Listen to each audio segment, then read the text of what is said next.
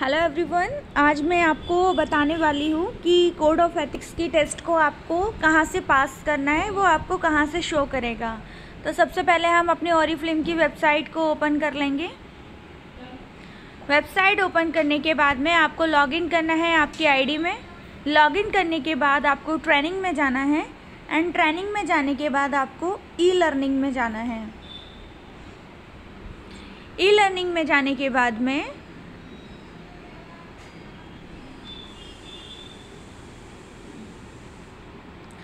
यहाँ पे आपको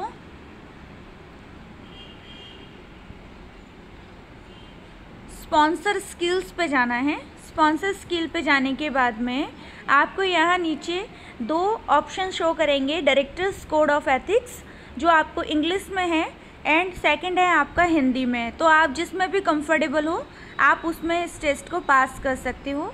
इसे आपको ओपन करना है।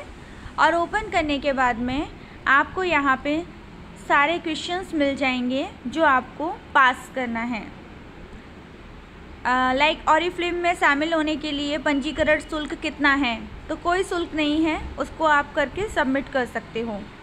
यस दिस इज़ करेक्ट और अगर आप गलत क्वेश्चन का आंसर सिलेक्ट करते हो तो फिर आपको पूरा टेस्ट दोबारा से देना है बिकॉज़ आपकी जो आंसर है, वो थर्टी आउट ऑफ़ थर्टी होना चाहिए। अन्य ब्यूटी कंपनी के प्रोडक्ट्स के साथ और फ़िल्म प्रोडक्ट्स बेचने की अनुमति है? नहीं। तो फिर यहाँ हम सही कर देते हैं। तो यहाँ हमारा जो है, वो गलत हो गया क्वेश्चन तो हमें ये वापस से पूरा देना होगा।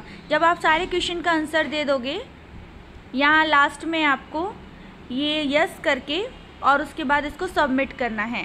और आपका जो टेस्ट है, वो पास हो जाएगा।